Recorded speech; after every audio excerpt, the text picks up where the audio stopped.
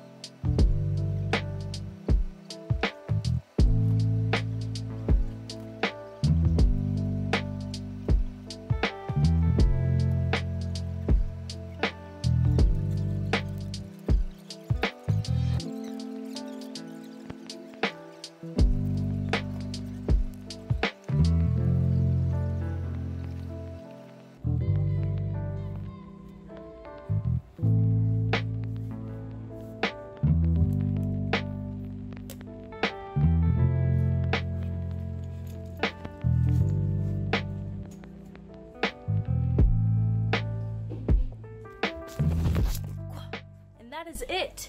Ooh. That's uh, my current writing routine for my poetry book. So there are a few things that I consider when I decide like if I have had like a good writing day or not. Um, I don't so much go by like the poem count or I mean word count obviously because poems are an underwriter's dream. Sorry, I'm trying to take my sandals off. I almost, my heart is like pounding. I almost hit a deer on the way home. Oh my god, like I saw that deer's life flash before my eyes. Like full on busy road right before this intersection and this deer, mind you, it's like, what time is it? Hello? 12.15 in the afternoon and this deer comes charging out of the woods across this, I mean, it's a two lane road um, in the middle of traffic and this thing was huge. It wasn't a buck, I think it was like a doe she didn't have antlers, but I had never seen like a doe this big and she charged right in front of me. I slammed on my brakes and I kid you not, I must have been like this close away from like smacking her. She would have destroyed my car. Anyway, so good writing day for me is when I can get like my point across, I guess. Um, every day while I'm flipping through like what I had done the days before, where I left off, you know, I get an idea in my head. It's like, okay, I want to accomplish this amount of the story today. For example, today I ended up writing about, I think, two poems. I cut like a chunk of one of them, so yeah, I guess two poems that introduced where Valentine lives. Um, if you don't know, Valentine is sort of my antagonist of the story. Ophelia is my protagonist, and today he showed her where he lives for the first time. So my goal when I first sat down and decided, okay, this is where today's gonna take me, I wanted to specifically first of all, like write out the poems, you know, get what I need to say out. Second of all, I wanted to be able to convey the tone and the feeling with which I wanted to portray. So the themes, the metaphors, you know, I really strive to get my point across to the reader without being like stupid obvious like hey she thinks this is weird you know and third, I wanted to get a good layout. This book is going to be a mixture of sketches and, it, you know, it's telling a story with words, but also with moving I was gonna say moving pictures, but like the form is gonna flow differently in different spots. The poems are gonna be, you know, visually different with the content that is going to be like in the poem. It's going to be very visual as well as, you know, like stimulating. So that's another thing that I like taking into consideration when I'm writing the poems. For now, because this is, I guess, technically my rough draft, I will write down ideas for spreads if it comes to me. I'm not so much focusing on how specifically the poems are gonna look until I get on my computer and actually, you know, format it how I want. But for now, as I'm writing things, you know, little sparks of inspiration come to me, so I'll jot it down real quick. As you saw, I made, you know, a little mock-up layout for how I think I want these poems to look when they're in the final book. And so by these standards, I think today was pretty successful. Um, I got a good, you know, chunk of the next sort of chapter in my story set up and ready to go. Getting getting into the real meat of it and the primary obstacle that Ophelia is gonna be facing. So I'm very happy with what I've done today. With that, I guess that concludes this video. Thank you so much for watching. And a special thanks to Hannah Louise and T for suggesting that I make this video. I honestly had never even thought of doing a little routine type thing for this current project. So thank you for that. I had a lot of fun. So all the stuff I cannot get through a video without stumbling over words. I just can't. All of the links to my stuff will be down below and I will see you guys later.